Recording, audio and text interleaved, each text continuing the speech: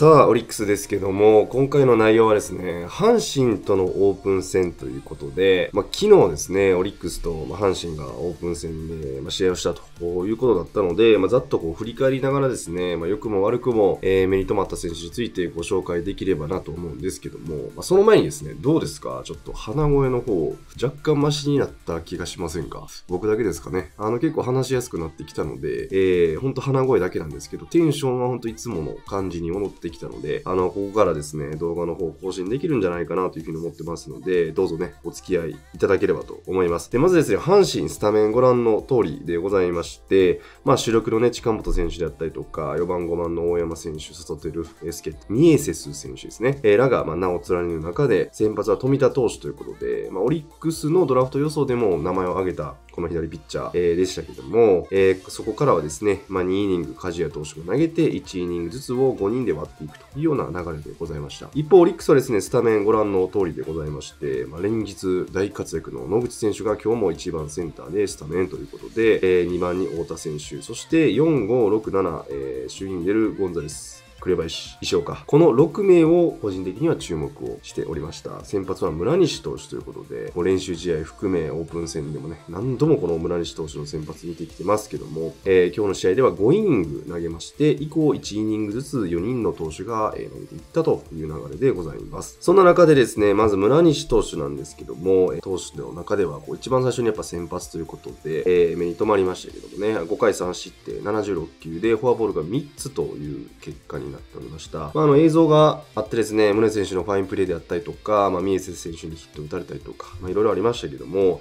4回まではすごく良かったんですよね。で、3失点してしまったんですけど、まあ、セットポジションなのか、体力なのかわからないですけど、課題はこの2つなのかなという感じでございまして、満塁からね、ミエセス選手から2点タイムリー打たれてましたけど、まあ、序盤はね、体力もあって、その分9位もあってっていうことで、多少浮いたとしても、えー、抑えることができてたんですけど、えー、本人としてもね、試合終わってから、そのクイックがちょっと合わなかったっていうことで、ボールをうまく扱えれなかったっていうふうに言っているんで、やっぱそうなのかなというふうにちょっと思いましたけども、今後はね、やっぱり先発をやっていくのであれば、5回最低でも投げないといけないと思うので、えー、5回までこう持てるような体力であったか、そのあたりが大事になってくるのかなと。まあ、今までね、リリーフだったんで、入団者からずっと確かそうですよね。なので、いきなりこう先発やれって言われてね、体力がこう追いつかないっていうのも、えー、すごく普通の話だと思うので、えー、今後のま調整というか、シーズン途中まではおそらく2軍にいるかもしれないですね。この感じだと。で、どっかのタイミングで谷間でプッと投げるタイミングが1軍であるかもしれないですね。はい。で、え、2人目がですね、比嘉さんということで、まあ、あの、比嘉さんね、すごい火消しするんですけど、ごくたまに、えー、長打打たれるということで、今回はその日だったのかなと、えー、新しい助っ人のミエセス選手にはホームランを打たれ、えー、サトテルからはツーベースを打たれということで、まあ、映像もありましたけど、ね。まあ、球威的に、えー、球速も遅いですから、その辺考えてもちょっとこうポーンと飛ばされやすいのかなっていうような、えー、感じだったんですけど、まあそういう日もありますよねっていう話でございます。はい。そして3人目がですね、平野義久投手ということで、久々にちょっとご紹介しますけども、やっぱさすがのベテランですね。もう調整具合が尋常じゃないということで、あの、粘られてもね、もうピシャッと抑える感じとかもすごいですし、1イニング8球で終わってます。はい。で、あの、粘られる打者が1人いたっていうことを考えると、後の2人はもうほんと数球で終わってるんですね。場合によっては1球で終わったりとかしてますけど、今年からなんかスラーブに挑戦をしているということで、なんかカーブ投げたりね、スライダー混ぜたりとか、まあ、ちょっと遊び心を入れながら調整をしているのかなというふうに思うんですけど、今年ね、まあ、平野義久投手、まあ、大ベテランということで、えー、記録達成しそうな、えー、成績ご覧の通りですけどもね、まあ、800登板に始まってですね、250セーブ、200ホールドと、まあ、39歳ですけども、えー、偉業を今年も多分成しているんだろうなというふうに思ってますから、えー、まあ、クローザーとしてね、任命されてますし、しっかりですね、開幕に向けて調整していただいて、なるべく、えー、平野劇場、一つでも少ないようにしていただけたらなとと思います。で、一方、野手に関してはね、この試合に関しても、やっぱ野手がすごくボリューミーだったなっていうことで、まずは先頭バッターの野口選手ですね。もう毎日ですよ。毎日活躍して、大体しかもね、ファーストストライクなんですよね。初球であったりとか、ボール先行でも最初のストライクヒット打ったりとかでね、えー、今日もヒット打ってましたけども、何なんですかね、このショートの守備というか、含めてですけど、まあ、センターもうまいし、なんかほんま、西浦選手みたいですよね。なんかセンターの守備とかも見てると肩も強いし。で、やっぱここ2年ね、見ていっても、紅林選手が不調の時に、やっぱ強いて言っても足立選手とかしかいなかったんですよね。足立選手も年齢的にやっぱセカンドっていうことを考えると、あとはバッティングの面も考えると、やっぱ紅林選手のこう代わりがいない中で、この野口選手がショート、そしてセンターで、えー、ゴールデングラブ級の活躍をしてる、しかも打てるってことを考えるとですね、本当にあの、紅林選手がレギュラーかもしれないですけど、紅林選手がこう、まあ、沼にはまってしまったりとかね、調子が悪い時に野口選手がこうカバーするような流れで出ていけると、オリックス、あんまりこう成績落ちることなくですね、乗り越えられるんじゃないかなというふうに思ったので、野口選手にはスタメンじゃなくてもそういう面では期待がしたいなと思いました。でね、やっぱもう内野のね、守備がオリックス、その、鉄壁すぎるっていうことで、まあ、サードはね、言うまでもないメジャーの宗選手ですよ。で、足立選手、まあ、セカンドでね、ゴールデングラブ級ですし、ショートは紅林野口の強肩コンビでしょ。で、ファーストはシュウィンデルね、メジャーでも、えー、高レベルの守備でしたし、そこに加えて、ファーストで言うとね、T さん、トングもうまいですよ。で、マーゴもね、おそらくうまいでしょうし、大谷選手に関しても、ここ最近、まあ、送球も安定してるしね、肩も強いし、守備範囲もいいしっていうことですし、まあ、二遊間、まあ、サブの面々で考えても、義母大城っているんで、ちょっと内野守備に関しては、ちょっと尋常じゃないですね。一歩ちょっと外野守備が最近連携が取れていないみたいなことがありますから、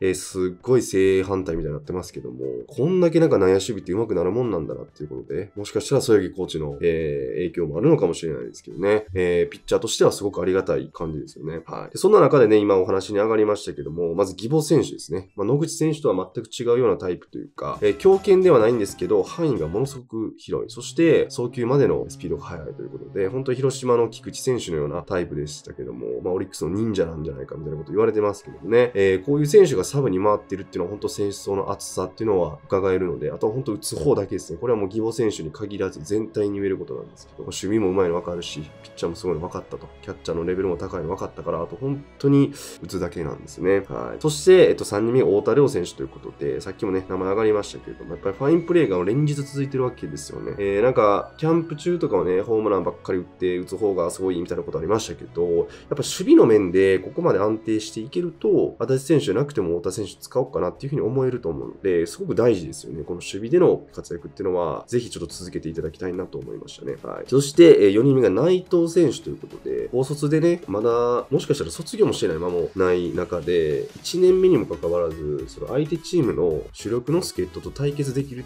ていうのがもう本当何にも変え難い経験なんじゃないかなということで、しかも2球粘ってるんですよ。確実に来年に生きるだなっていうことで、すごいなんか見ててね、凡退しましたけども、ちょっとニヤニヤが止まらなかったですね。はい。そして5人目が若月選手ということで、2の2ということで、打撃がエグすぎるということで、まあ、他の球団だったら、ね、余裕で正捕手クラスなんですよ。なので、意外と僕たちが思ってる以上に DH 森、キャッチャー若月、そういうスタメンが想像以上に多いかもしれないですよね。それぐらいのやっぱりええものを見せてくれてますけど、やっぱキャッチャーの層がえぐい。森若月、ここ抜いてもトングいますからね。本当にトングキャッチャーに転向してくれてよかったなって思えるぐらいの、はい、感じですよね。これは非常にこう楽しみですよ。で、仮に若月選手がね、FA で行ったとしても2番手にトングがぐっと入ってくるということなので、ここに3番手に福永とか石川選手が来るわけですよね。まだまだね、層が厚いと思うので、すごいオリックス、ようやってるなっていう感じでございます。はい。そして、えっと、話に続けて言うと、森選手もですね、非常にこう目が止まったというか、あの、やっぱ攻守が貫禄すぎるね、守備に関してもすごくいいなっていうふうに言いましたけど、まあ、あの、この間の甲子園でのね、試合の時からそうだったんですけど、やっぱね、例え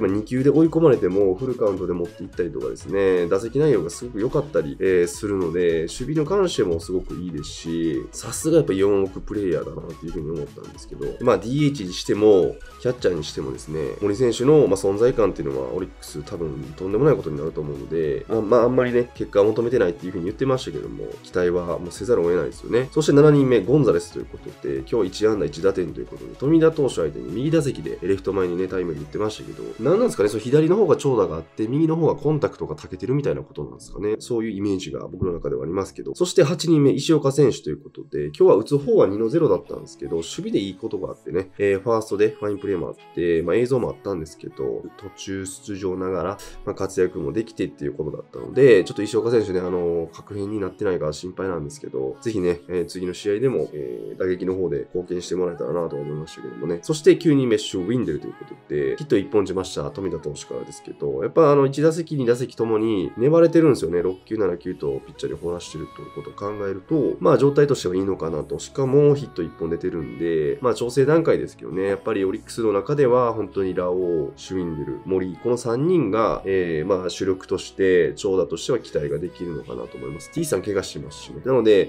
えー、若手とかね、トング、太田とか未知数の部分ありますので、この本当シュウィンデルに関しては、助っ人の中では一番ちょっと頑張ってもらいたいなという思えるような選手でございます。はい。そして最後10人目がですね、ラオウということで、まあ、ケラー投手相手に1本出たんで、真ん中の多分低めだったと思うんですけど、レフト前にね、えー、その後も粘ってフォアボール選んだりということで、まあ、ここに来てなんか最終段階じゃないですけど、調整は進んできているのかなというふうに思ったので、ちょっとラオウがね、本当に言ってくれないと、主演出る以上にちょっとやばいと思うので、ぜひラオウの調整具合っていうのは本当毎試合気にをしております。ということで、今回の動画ではですね、昨日行われました阪神とのオープン戦についてざっと振り返ってまいりました。まあ、個人的にね、良くも悪くも目に留まった選手について、投打でご紹介しましたけども、まあ、ダゾーンであったりとか、ツイッターの切り抜きでね、見たよっていう方いらっしゃいましたら、ぜひ、えー、コメント欄の方に残してもらえたらなというふうに思います。ということで、今回の動画は以上とさせていただきます。あのー、今日もですね、鼻声にもかかわらず、えー、最後まで、え聞いてくださって本当にありがとうございます。次回の動画でもですね、オリックスについて語ってまいろうかなというふうに思いますので、えチャンネル登録、そしてグッドボタン、えまだだという方は何卒よろしくお願いいたします。それでは今日もありがとうございました。